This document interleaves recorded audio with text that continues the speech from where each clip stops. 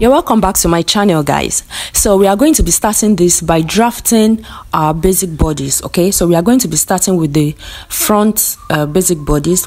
So right here I'm marking out the shoulder measurements I divided it by two okay? And then I marked one inch downwards. So I'll be connecting that to the edge of the pattern paper. Then right there I'll be marking out my armhole measurement okay? So I came down by about eight inches all right? So i'm going to be connecting it to the slope that i made earlier. All right? So right there i'm going to divide whatever i have at that spot. I'll be dividing it by two. All right? And then right on that spot i'll be marking out 0.5 and then i'll be connecting all the three points with my french curve. All right? So simply go right ahead and do the same thing. So basically we are marking out the basic bodies right here okay?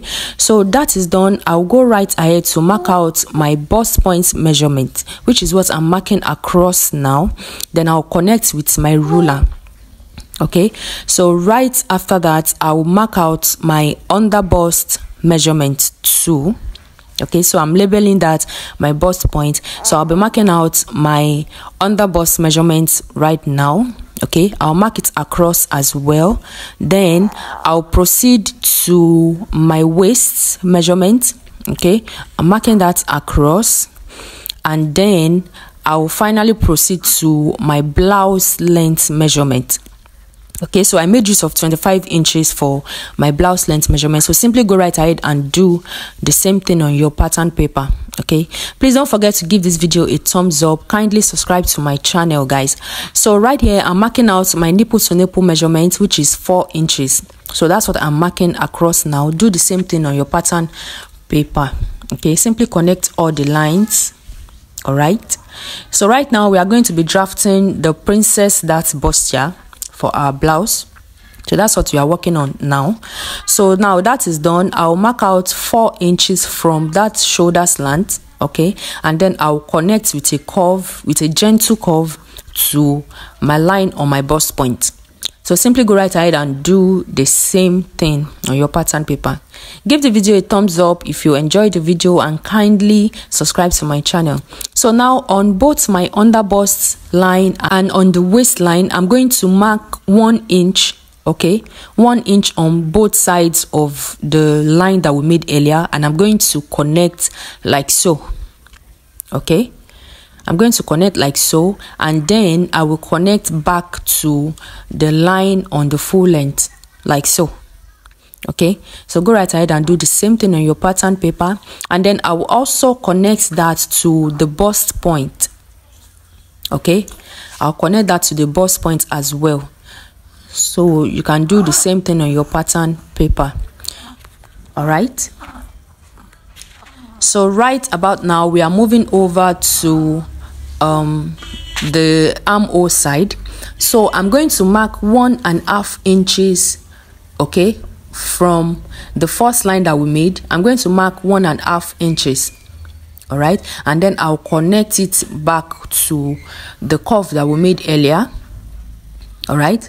So simply go right ahead and do the same thing okay so this is um for the snatch. We are going we are using this to snatch the armhole measurement okay? And then i will because i came down by 1.5 inch all right i'm going to um go out by that same 1.5 inch just to make up for the 1.5 inches that i removed. So you are going to extend that line by that same 1.5 inches I hope you understand what I'm what I just explained, guys. So we are cutting off that part. Now on the um underbust, okay, we are going to do further alteration there. So you measure whatever you have right there, and then we are going to be dividing it unequally on our underbust line. So right on the side, I'm going to go out by 0.75, and then on the mid part, I'm going to go in by 0.25 i hope you understand what i just explained guys. So this is to snatch our underbust further. All right? So right there i'm going to make a curve on both sides and then i will connect back to the line that we made earlier. All right? So this is the new point we are working with. I hope you understand what i just did. So i'm going to um, do the same curve on the midpoint. Okay i'll do the same thing right there and then i'll connect the new line to to the dart leg that we have earlier. Okay so this is the new dart leg we are going to be working with. So i'm going to um, mark that part as the parts that we'll be cutting out now. I hope you understand what i just explained guys. Just do everything i did in the video. So the next thing to do now is to take our body measurement. So for the bust part i added my sewing allowance. Then for the waist part you are going to measure out your waist divided by four. Then the um, space that we have there we'll measure what you have there. Add it to your sewing allowance. Add it to it to your measurements. Then you add your sewing allowance. And then on the full length part i measured my hip okay? And then i added my sewing allowance. So i'll be connecting all the lines now okay? So i hope you understand what i'm doing. So with this the drafting of um, the front bodies is almost complete. So i'm going to be connecting the extra one and a half inch that we marked out earlier. I'm going to be connecting it now to my measurement okay with a gentle curve so with this, the drafting of the basic bodies is complete now. We are, we are going to be doing further alteration, but for now, let's move to the back bodies. Okay, so I'm going to just mark out my um, desired neck measurement okay and then i'll be labeling it the side and um, the mid part which is going to be unfold all right so we'll be altering this later but let's cut out now and uh, move over to the back measurement okay? Kindly give this video a thumbs up. Please subscribe to my channel okay guys? And please share the video so others can get to see it. Thank you so much. So we'll be cutting out the front now and then we're moving over to the back. So this is the back um bodies. All i'm just doing now is to mark out the basic bodies here okay? Just mark out your basic bodies like we did for the front. So i'm marking out my back my armhole my um waist measurements my full length okay right after that i'm going to mark out the four inches for the shoulder to um, for the nipple to nipple measurement okay? I marked that right across. And then on the waist part i took out 0.5 on both sides okay? And then i um, did the gentle curve to the armhole. Then on the um, zipper allowance part on the waist i took out 0.5 that is for the snatching of the waist okay? To make it flat at the back so it doesn't budge. So i connected to the full length and the upper part then I, I marked out the part that will be cutting off. All right so um the next thing that we're going to be doing at this point is to take out our um, body measurement. Okay so i marked out my body measurements across divide by four and then add your sewing allowance. Okay? And then on the waist part you are going to add the one inch for the dart intake to your measurements before you add your sewing allowance and then you take out your hip measurement as well and connect everything. So the next thing to do is to of course get my neck measurement so your desired neck measurement you mark it out and then with that we are done with the um the basic bodies for the back. So i'm going to label the side and um, I've labeled the other part the zipper allowance part. So the next thing to do is to cut out what we have here and then we'll move on with our further alteration all right guys so this is what we have for the back and then this is what we have for the front. So let's start our alteration on the front bodies first. So on the under bust line i moved in by about two and a half to three inches. This depends on you.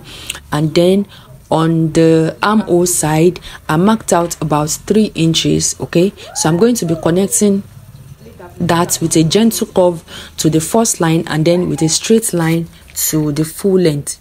Okay i hope you understand. I'm just trying to create another um, because i'm going to be um, making a kind of design here with another fabric. So i'm going i'm trying to create another design so that i have three parts for my front. I hope you understand. Okay so i'm going to label one two and three so that i don't mix up my patterns right?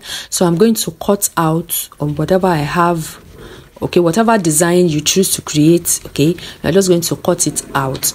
And right about now i'm going to um, further mark out that waist measurement because that is what i'm going to be working with okay? So that is the waistline that i'm marking out okay? And then we are going to start with our alteration we are going to be using the slash and spread method for this. So on that part i have three inches so i simply divided it into three okay? And then i'll be connecting with my line to the full length. So simply go right ahead and do the same thing on your pattern paper right so i'm marking out that part now that i'm going to be slashing out.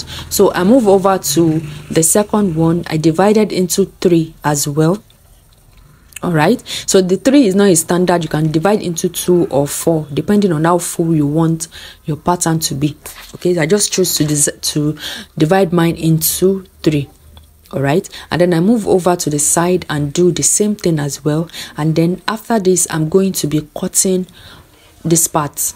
All right? So simply cutting it out so i'll be able to spread it as much as i want. Okay? Simply go ahead and do the same thing on your pattern paper. And please do not forget to give this video a thumbs up. Kindly subscribe to my channel okay? I hope you understand what i'm trying to do here. So i'm going to, to create more fullness for each of the parts of the blouse all right? So i'm going to cut out the other part as well. Yeah.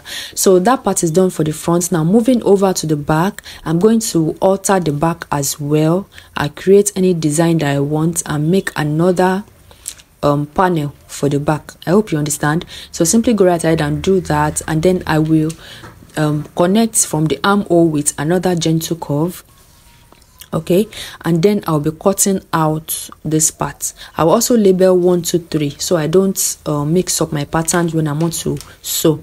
And then i divided into each panel into three parts as well on the waist part for me to be able to slash it okay? So simply go right ahead and do the same thing on your pattern paper. We are trying to create more fullness for this um, lower part of the blouse all right don't forget to subscribe guys and please share the video. Give this video a thumbs up so others can get to see it. Thank you so much. So go right ahead and do the same thing on your pattern paper and then we're moving over to the third one third panel and then we'll be dividing into three as well. So right after this the next thing to do is of course we are going to be slashing it out like we did with the front pattern all right? So um you are going to be creating fullness with this. So whatever um, design you choose to work with you are going to be creating this extra fullness for the lower part. You can spread as much as you want all right? So go right ahead and do the same thing on your pattern paper just like i'm slashing it okay? So we'll be creating more fullness with this part. So and with this we are done with um the pattern for this blouse. So in my next video i'm going to be showing you the sewing of this. Thank you